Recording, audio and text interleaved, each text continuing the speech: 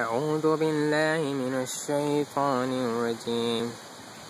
بسم الله الرحمن الرحيم.